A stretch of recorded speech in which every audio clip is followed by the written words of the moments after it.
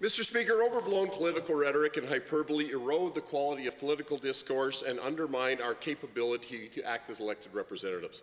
Take, for example, the varying reactions to the current economic recovery. For some, it doesn't fit their political narrative, so they deny it's happening or actually cheer against it. Now, I won't do that.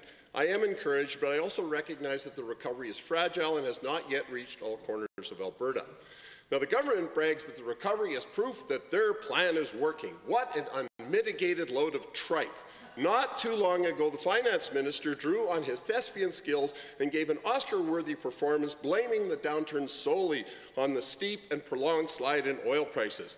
But since then, oil prices have doubled and the industry has made difficult but necessary adjustments to return to modest profitability.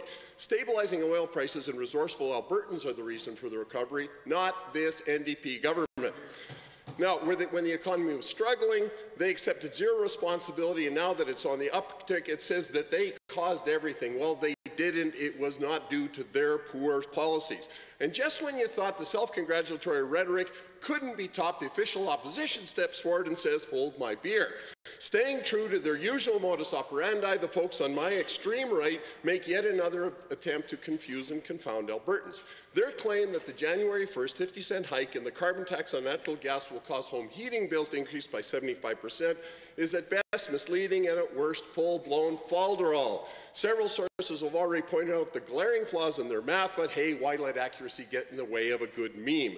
Their claims are totally incorrect, they know it, and yet they defend them with the tenacity of a Jack Russell Terrier uh, trying to defend a savory pork chop that it's just unearthed. Mr. Speaker, growing, governing in a province is a privilege earned by building trust, not by rhetoric and hyperbole. Albertans deserve better.